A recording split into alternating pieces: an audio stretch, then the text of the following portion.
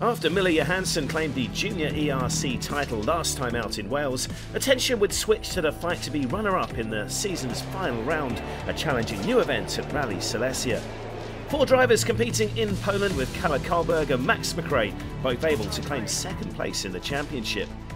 David Pesavento started the weekend well with a stage win on the rally opening Katowice Super Special.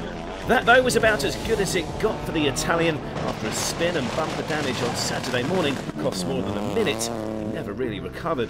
Fourth place, though, saw the Peugeot driver climb to seventh in the Junior Championship. Daniel Polasek produced a fine year of consistency on what was the Czech youngster's third junior ERC season.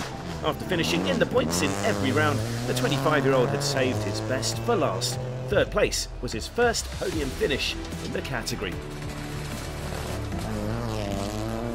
And in the fight to be this season's junior ERC runner-up, the Polish fans were treated to a rally-long scrap between Karlberg and McRae.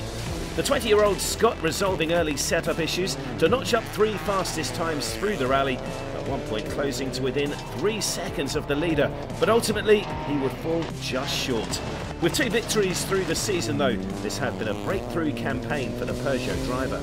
Yeah, it's been good. It's um, very nice to finish off the, the year on a high. A massive thanks to the team and all my sponsors and my dad for all the hard work. Uh, it's not been an easy year, but uh, again, we've proved it with another podium and uh, great job to Kalle. It was a mega fight. It's awesome to be battling so close with uh, someone in a, well, pretty much identical machinery. So, uh, yeah, well done to him on his first win. And yeah, uh, look forward to next year.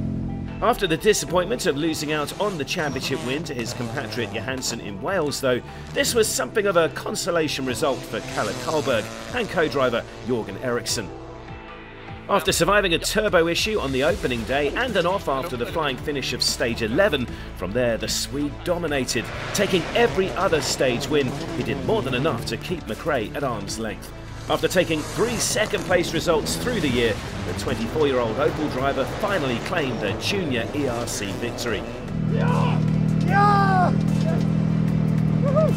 I don't know, I, I just gotta say thank you to all my sponsors who are believing in me and also uh, my mechanics, engineers and Opel.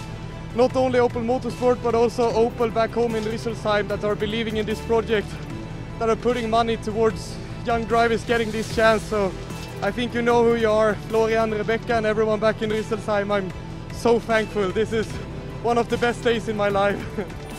Karlberg taking the win by almost half a minute ahead of McRae in the end, with that first podium secured by Polasek. And confirmation that the victory did indeed secure the runner-up spot for Karlberg in the Junior ERC Championship by just seven points over McRae. And it was a Swedish 1-2 of course, with Johansson already claiming the title.